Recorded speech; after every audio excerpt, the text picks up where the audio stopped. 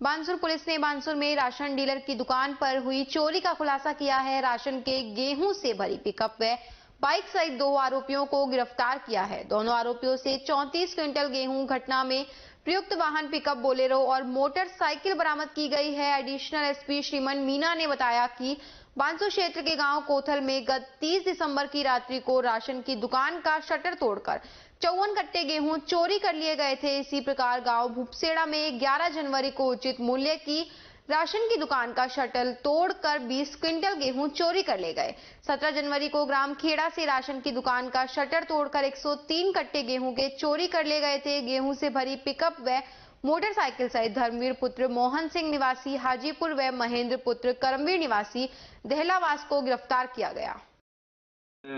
जनवरी माह में दो नकबजनी की वारदातें हुई थी, जो राशन की दुकानें थी उनमें, और एक दिसंबर में हुई थी। कोथल गाँव है वो। कोथल गाँव है, भूपसेड़ा है और खेड़ा।